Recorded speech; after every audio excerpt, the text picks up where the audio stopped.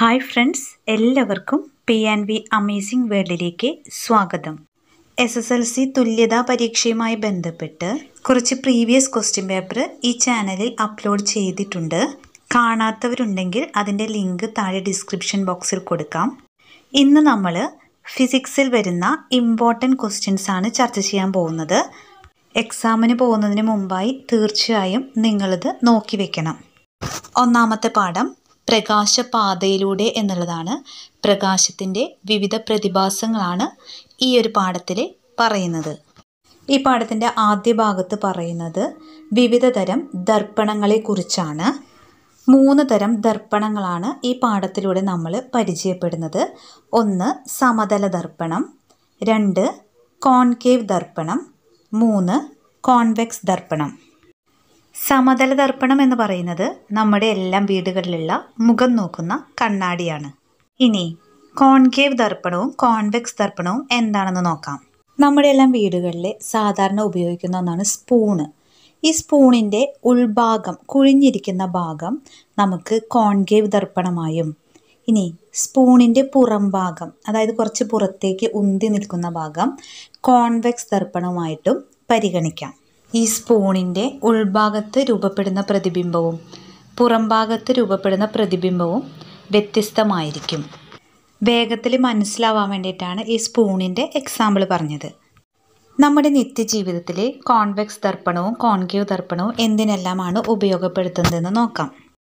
Convex ദർപ്പണം വാഹനങ്ങളിലെ side mirror അഥവാ റിയർ വ്യൂ മിററായിട്ട് ഉപയോഗിക്കുന്നു. പിന്നെ സൺഗ്ലാസുകളിലും സ്ട്രീറ്റ് ലൈറ്റുകളിലെ റിഫ്ലക്ടറുകളിലും ഉപയോഗിക്കുന്നത് കോൺവെക്സ് ദർപ്പണമാണ്. അതുപോലെ തന്നെ കോൺകേവ് ദർപ്പണം ഉപയോഗപ്പെടുത്തുന്നത് ഇ എൻ ടി ഡോക്ടർമാർ ഉപയോഗിക്കുന്നത് കോൺകേവ് ദർപ്പണമാണ്. പിന്നെ ഷേവിംഗ് മിററായും വാഹനങ്ങളിലെ ഹെഡ്ലൈറ്റുകളുടെ റിഫ്ലക്ടറായിട്ടും ഉപയോഗിക്കുന്നതും കോൺകേവ് ദർപ്പണമാണ്. അപ്പോൾ ഇത്രയും കാര്യങ്ങൾ ദർപ്പണങ്ങളെക്കുറിച്ച് അറിഞ്ഞിരിക്കണം. അടുത്തത് പ്രകാശത്തിന്റെ ഒരു പ്രതിഭാസമാണ് അപവർത്തനം എന്ന് പറയുന്നത്.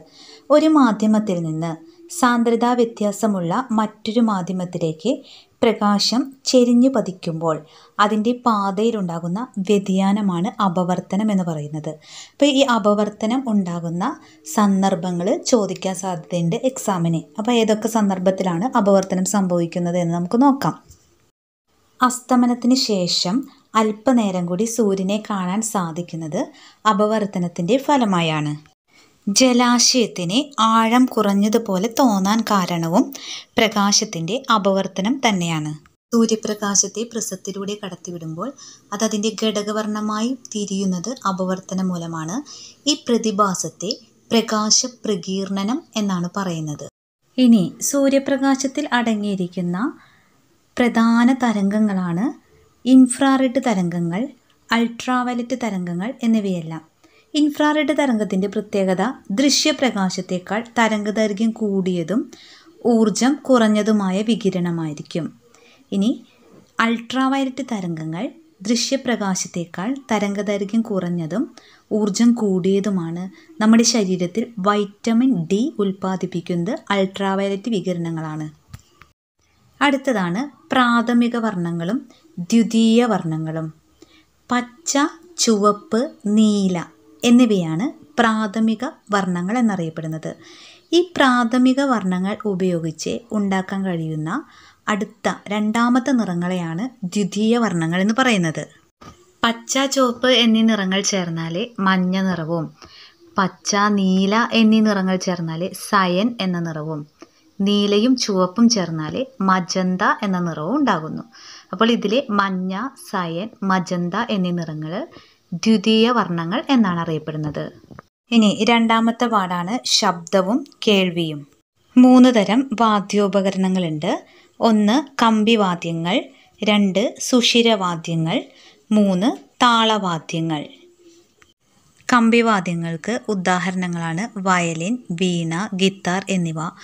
ഇവയുടെ കമ്പിയിലെ കമ്പനം മൂലമാണ് ഈ വാദ്യോപകരണങ്ങൾ പ്രവർത്തിക്കുന്നത്.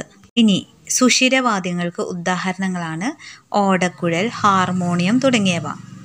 അടുത്തത് താളവാദ്യങ്ങൾ. താളവാദ്യങ്ങൾക്ക് ഉദാഹരണങ്ങളാണ് ചെണ്ട മദ്ദളം എന്നിവ. ഇവയിൽ വലിച്ചു കെട്ടിയ തുകൽ കമ്പനം ചെയ്താണ് ഈ വാദ്യോപകരണങ്ങൾ പ്രവർത്തിക്കുന്നത്. അടുത്തത് നമ്മൾ പരിചയപ്പെടാൻ പോകുന്നത് തരംഗങ്ങളെക്കുറിച്ചാണ്. ഈ ഒരു ചിത്രത്തിൽ മാധ്യമപരപ്പിൽ നിന്നും ഉയർന്നു നിൽക്കുന്ന ഭാഗത്തെ ശൃംഗം എന്നും മാധ്യമപ്പരപ്പിൽ നിന്നും താഴ്ന്നു നിൽക്കുന്ന ഭാഗത്തെ ഗർത്തം എന്നും പറയുന്നു. ഈ ഒരു ഭാഗം വളരെ ഇമ്പോർട്ടന്റ് ആണ്. എക്സാമിന് ചോദിക്കാൻ സാധ്യതയുണ്ട്. ഈ ഒരു ചിത്രത്തിൽ അടയാളപ്പെടുത്തിയിരിക്കുന്നത് പോലെ രണ്ട് ശൃംഗങ്ങൾക്കിടയിലോ അല്ലെങ്കിൽ രണ്ട് ഗർത്തങ്ങൾക്കിടയിലോ ഉള്ള ആ അകലത്തെയാണ് തരംഗ ദൈർഘ്യം എന്ന് വിളിക്കുന്നത്. അടുത്തതാണ് അനുപ്രസ്ഥ തരംഗങ്ങളും അനുദൈർഘ്യ തരംഗങ്ങളും. നിശ്ചലമായ ജലോപരിതലത്തിൽ ഒരു കല്ലിട്ടാൽ സംഭവിക്കുന്ന തരംഗങ്ങളാണ് അനുപ്രസ്ഥ തരംഗങ്ങൾ. അപ്പോൾ എന്തൊക്കെയാണ് അനുപ്രസ്ഥ തരംഗങ്ങളുടെ പ്രത്യേകതകൾ എന്ന് നോക്കാം. തരംഗചലന ദിശയ്ക്ക് ലംബമായ ദിശയിൽ കണികകൾ കമ്പനം ചെയ്യുന്നു. ഒന്നിടവിട്ട് ശൃംഗങ്ങളും ഗർത്തങ്ങളും ഉണ്ടാകുന്നു. മാധ്യമത്തിൽ മർദ്ദവ്യതിയാനം ഉണ്ടാകുന്നില്ല. അനുദൈർഘ്യ തരംഗമാണെങ്കിൽ തരംഗ സഞ്ചാരത്തിന്റെ ദിശയ്ക്ക് സമാന്തരമായി കണികകൾ കമ്പനം ചെയ്യുന്നു. ഒന്നിടവിട്ട് ഉച്ചമർദ്ദ മേഖലകളും നീചമർദ്ദ മേഖലകളും ഉണ്ടാകുന്നു.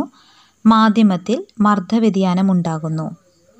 അടുത്തതായിട്ട് ഓർത്ത് വെക്കേണ്ട ഒരു ഇമ്പോർട്ടന്റ് ആണ് ശബ്ദത്തിന് ശൂന്യതയിൽ സഞ്ചരിക്കാൻ കഴിയില്ല.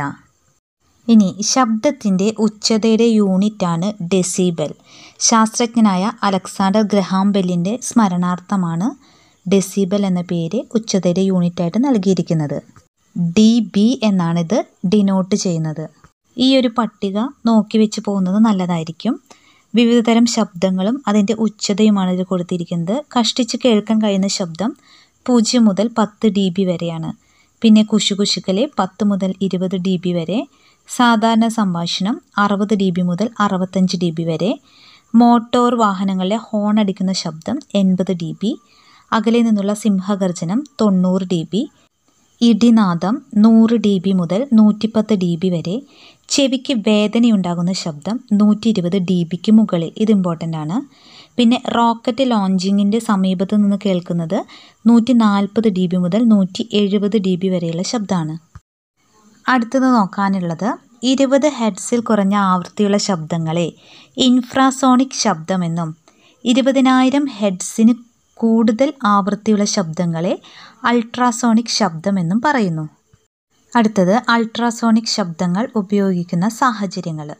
സമുദ്രത്തിന്റെ ആഴം അളക്കാൻ ഉപയോഗിക്കുന്ന സോണാറിൽ ഉപയോഗിക്കുന്നു.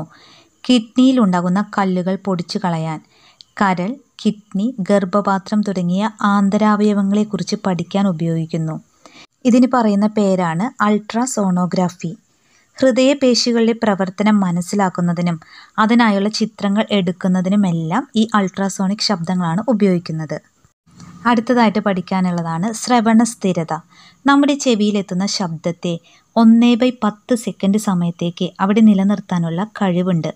ഈ കഴിവിനെ പറയുന്ന പേരാണ് ശ്രവണ സ്ഥിരത. അപ്പോൾ ഫിസിക്സിലെ ആദ്യ രണ്ട് ചാപ്റ്ററിലെ ഇമ്പോർട്ടന്റ് ആയിട്ടും പഠിച്ചു പോകേണ്ട കുറച്ച് കാര്യങ്ങളാണ് നമ്മളിന്ന് നോക്കിയത്. അടുത്ത ദിവസം ബാക്കിയുള്ളതുമായിട്ട് നമുക്ക് വീണ്ടും കാണാം. താങ്ക്